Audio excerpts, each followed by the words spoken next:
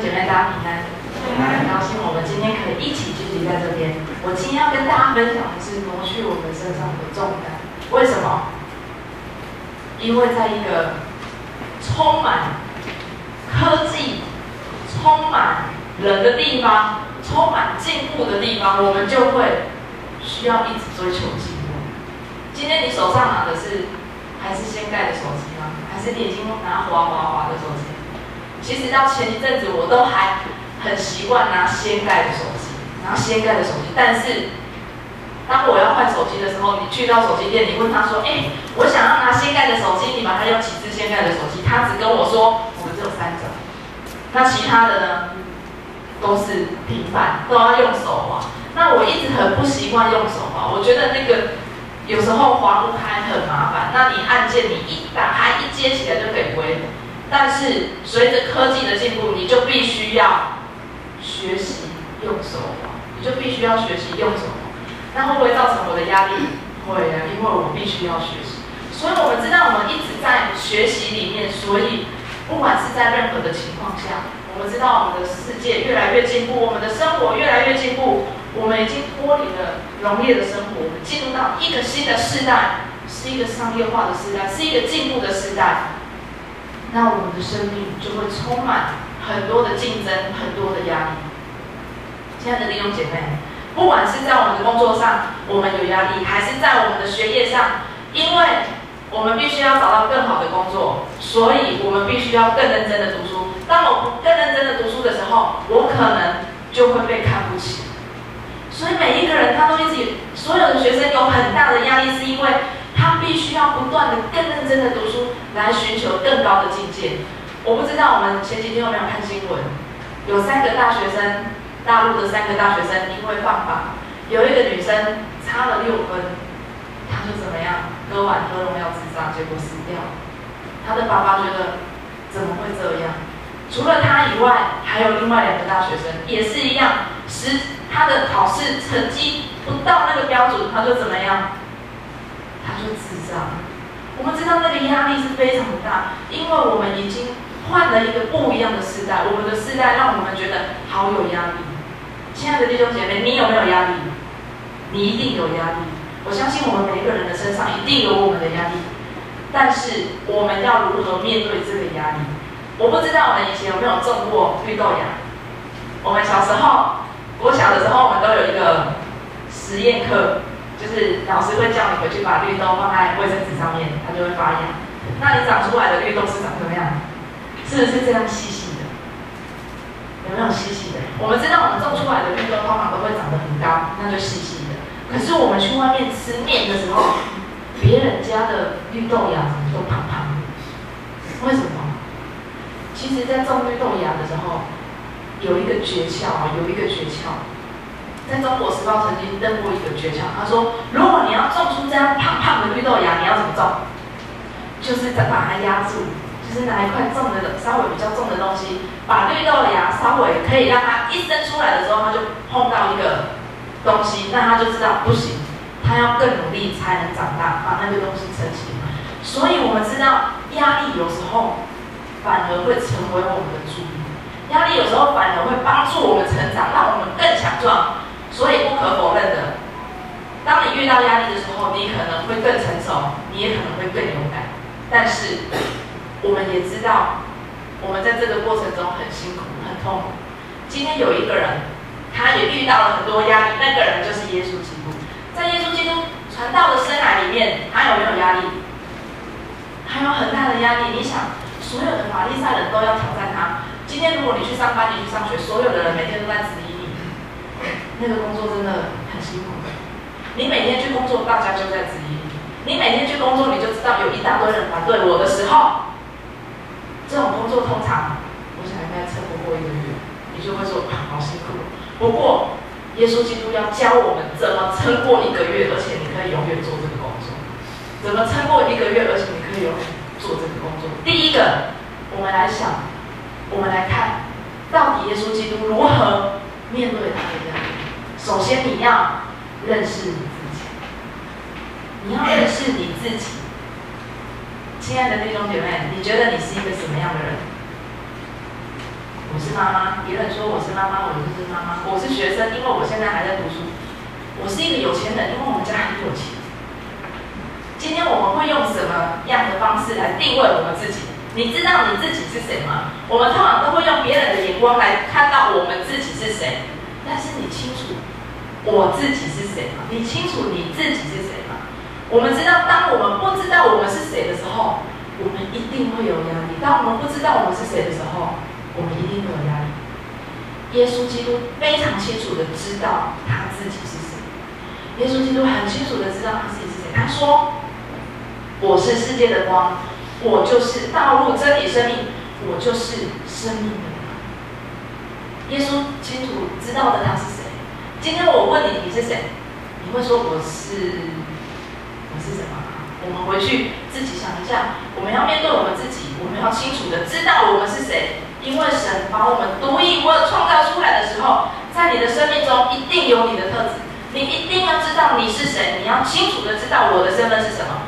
当我们不知道的时候，我们会发生两件事情，会发生模仿跟比较。我们会觉得哇，那个人好快乐，电视上面的人看起来都很幸福，很有成就。我们会去模仿他，因为我们觉得他是一个很棒的人，我们也想成为这样的人。第二个，我们会去比较，什么都能比，今天衣服也能比。我们看这张图片，这个人怎么样？比较胖。这个人呢，比较瘦。那这三个人呢？这个比较漂亮。什么都能比。当我们活在这样的情况下的时候，你会发现你的生命很有压力，因为你不知道你为什么活着。你会一直在想，我到底要定位在哪个地方？别人怎么看我，我就变成怎么样；别人怎么看我，我就变成怎么样。亲爱的弟兄姐妹，这些都错误。神创造你是独一无二，你有不一样的指纹，你有不一样的鱼尾纹，你有不一样的头发，你有不一样的五官。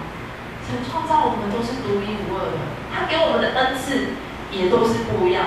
所以，当你知道你的身份是什么的时候，你会减轻很多压力，因为你不再是为别人而活。你知道你自己是什么，你知道你自己是什么。耶稣为他自己做见证。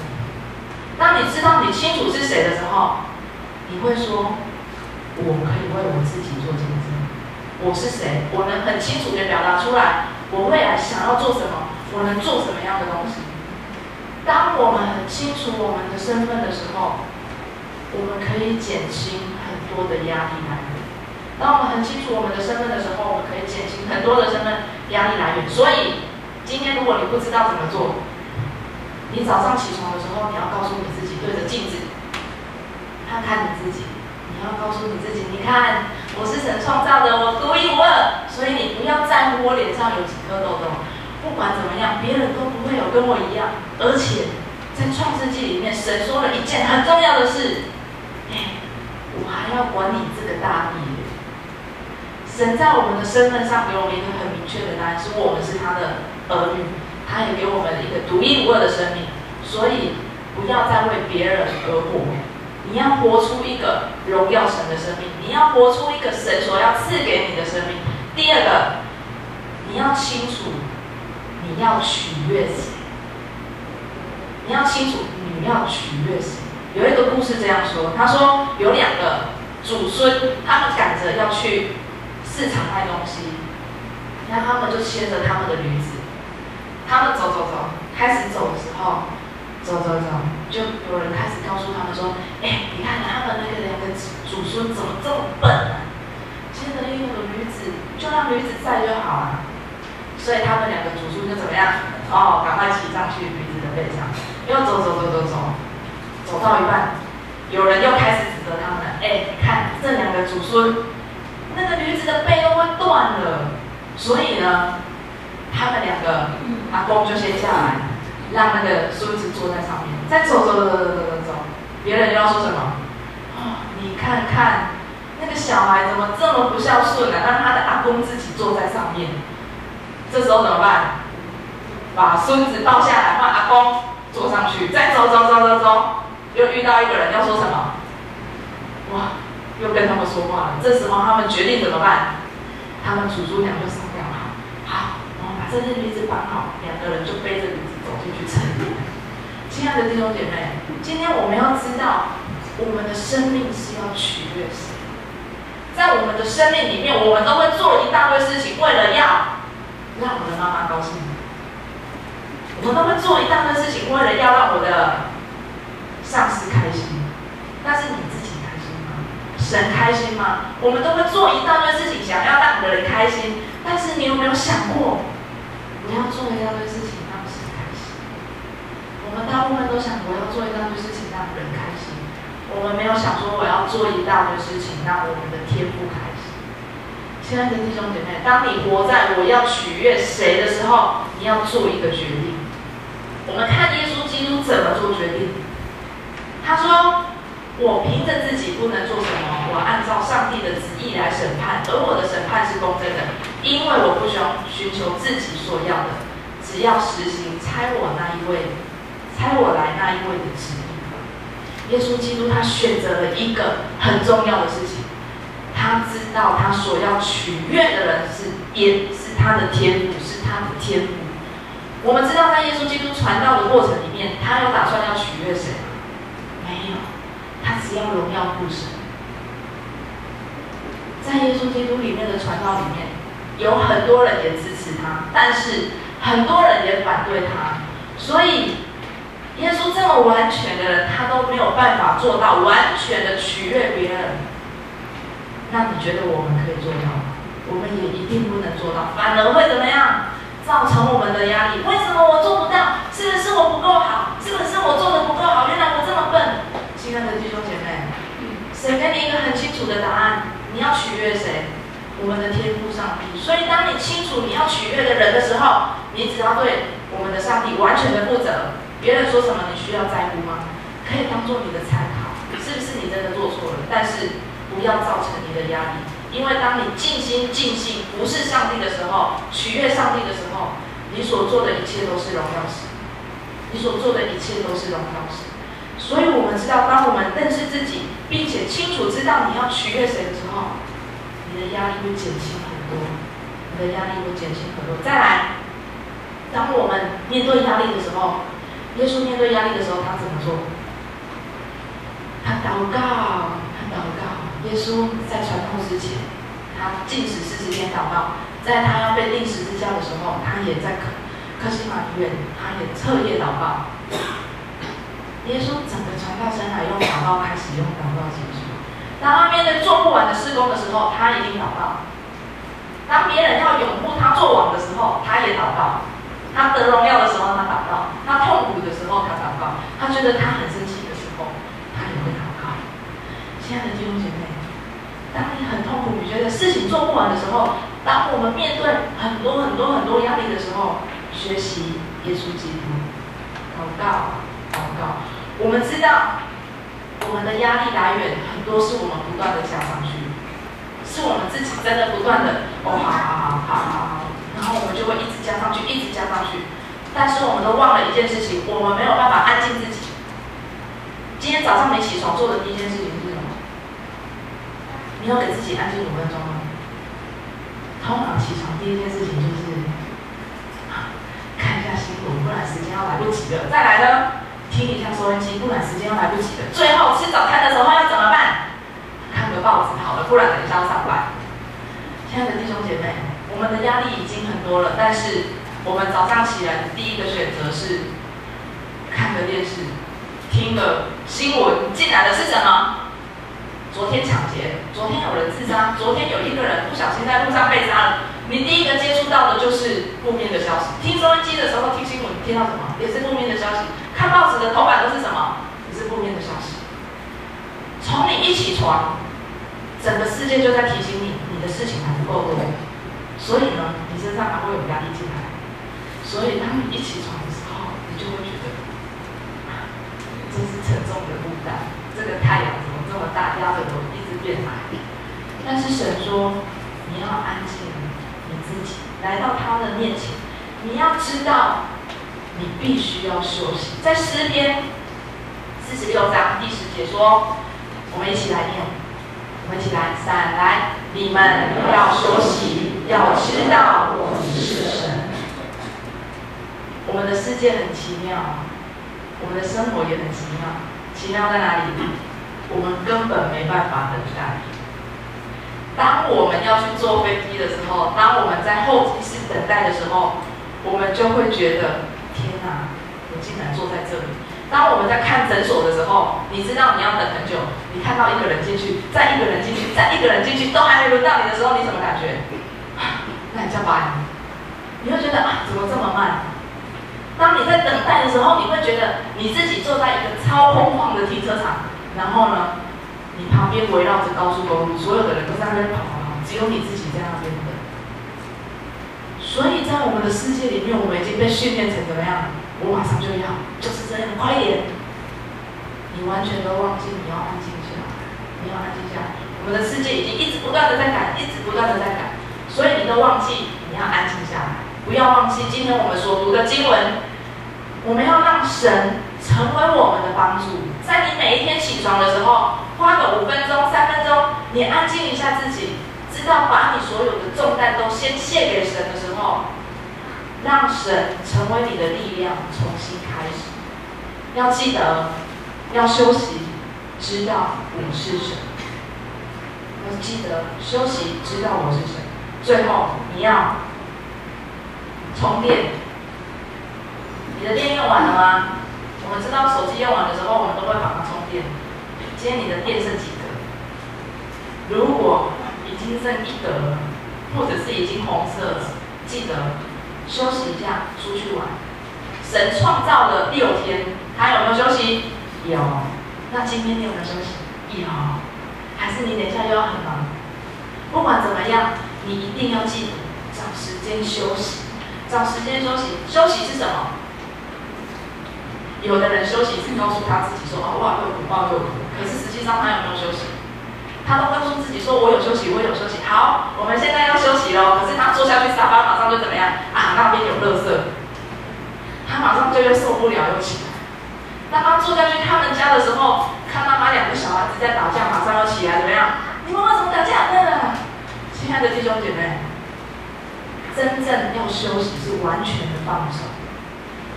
英国首首相呢，他就说，我们的休息是要完全等到我们的身心灵，你发现你真的完全休息的时候，你的细胞才会重新运作。如果你真的只是用言语告诉你自己的大脑说啊，我有休息，我有休息，那是没有效。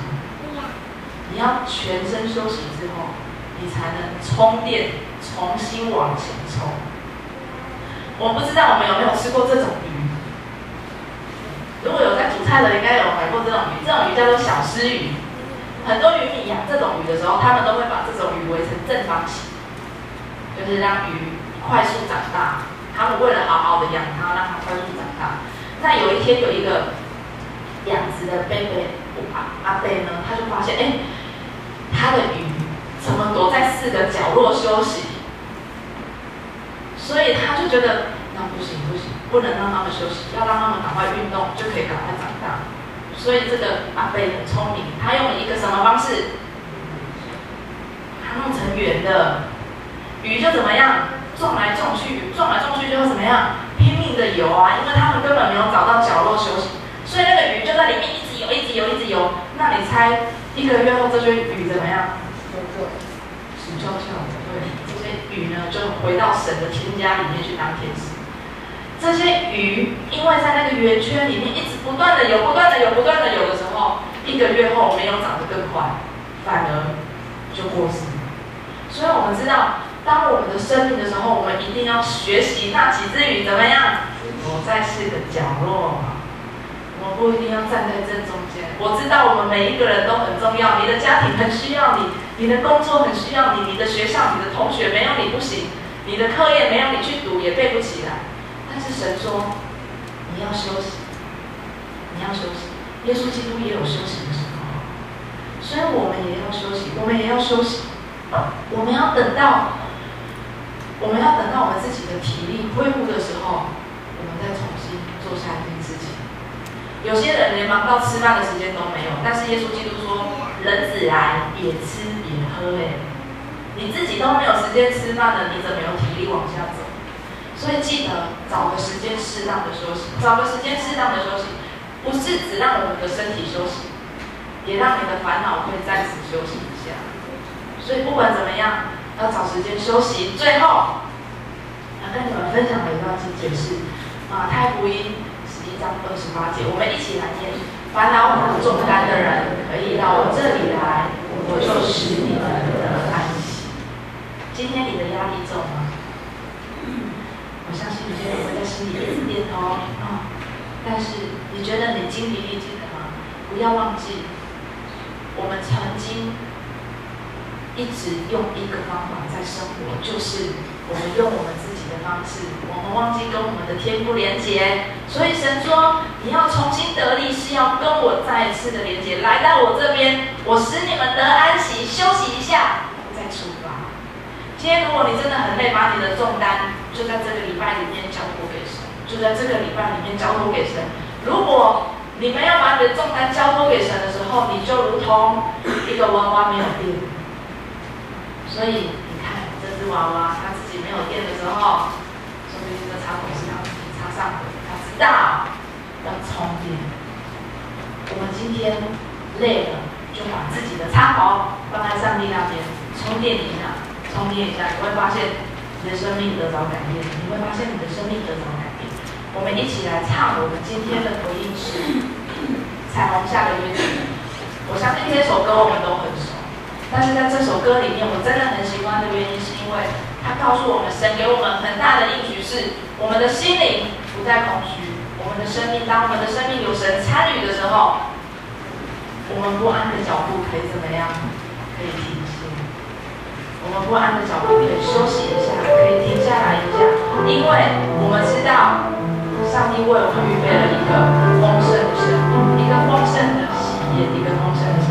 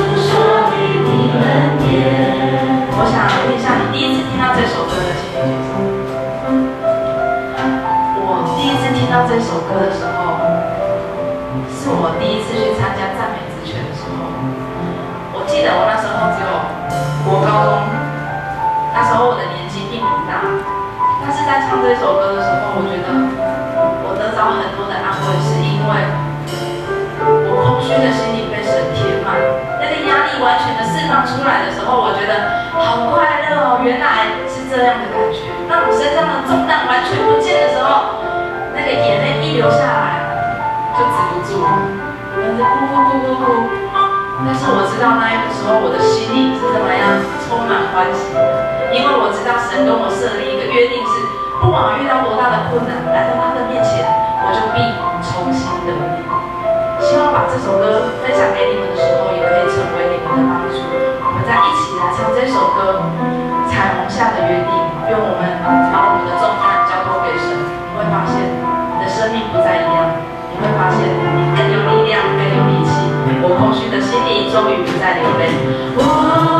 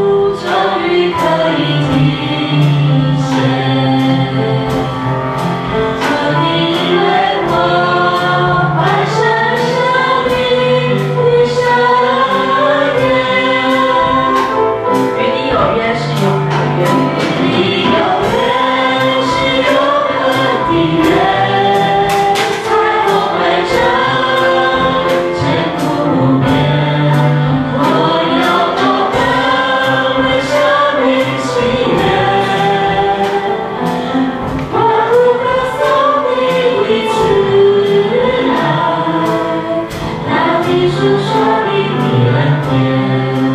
们一起重新祷告。亲爱的天父上帝，我们感谢你的恩惠跟怜悯，使我们能够坦然无惧来到神你的宝座前。主耶稣，我们不再惧怕，我们不用再陷入罪恶感跟定罪感，因为我们晓得你的怜悯在每一个早晨都是新的。主耶稣，谢谢你提醒我们，要把我们的重担交付给你。我们不用再担心我们的未来，我们不用再害怕，因为你的应许告诉我们，你将我们握在你的手心，我们每一个人都要安歇在你的里面。主耶稣，我们要献上我们的最大的感谢，也求你将盼望充满在我们每一个人的心中。我们要宣告，我们是得胜的人，我们要靠着神得胜在我们每一个生活里面，因为我们是蒙福的，我们要经历你更大的恩惠，经历你更多的带领。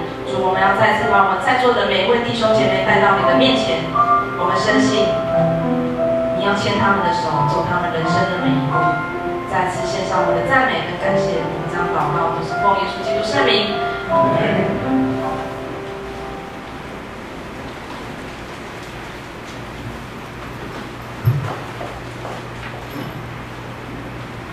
感谢洪传道为我们带来这么美的讯息，神父弟兄每天都体天，也就弟兄每天不是神工，我们都宿舍了。是神弟兄，我们是什么？他陪伴我们来走过这一生的一个过程，他给我们陪在我们身边，他就是我们。我们接下来要以神的爱来奉献。